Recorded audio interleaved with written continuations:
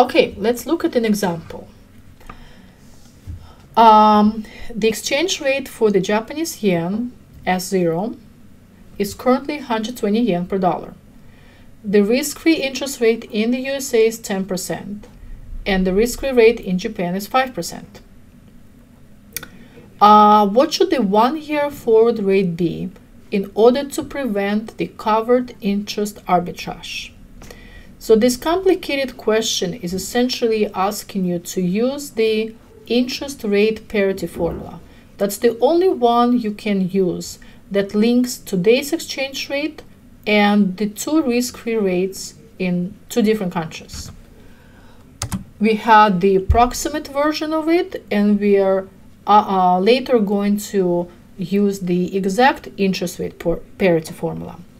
The approximate interest rate parity formula says to find the one-year forward rate, we take today's exchange rate, which is 120 yen per dollar, and we multiply it by, open parenthesis, 1 plus, and then the difference between the Japan and the US um, risk-free rates. So 0.05 in decimals minus 0.10 in decimals. The math gives us 114 yen per dollar. The exact formula looked a little bit different.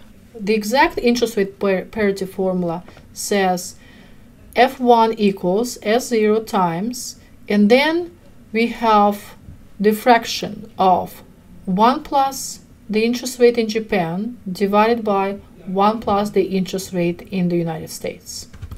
When we plug in our numbers into this formula, we have 120 times, open parenthesis, 1 plus 0.05, close parenthesis, divided by, open parenthesis, 1 plus 0.1, close parenthesis, which gives a slightly different answer, 114.55 yen per $1. So the two answers are very, very close. Um, I would say, you know, it's always safer to use the exact interest rate parity because it gives you the true answer, the correct answer. Whereas any approximate formulas give you a little bit of uh, an error. By the way, the approximate interest rate parity can be um, um, used in the financial calculator. Let me bring it up. Uh, let's turn it off and back on. Let's clear everything and start all over. So we want to find the one year forward. It's like finding the future value after one year. So what's one year? That's our n, n equal to 1. So let me start with that. 1 n. What is the present value if we need to find the future value? The present value equivalent in this problem is the to uh, current spot exchange rate, 120 yen per dollar. So I put 120, I make the sign negative, and then I press the PV button. So we have PV minus 120. We had n equal to 1. There is one more thing we need to enter before we press compute FV, and that's the interest rate, the IY. What's the equivalent of the interest rate in this uh, exchange rate problem? It's the difference between the foreign and the domestic interest rates. 5% minus 10%. What is that? That's negative 5%.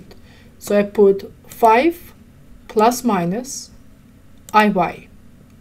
And then I press compute future value, 114.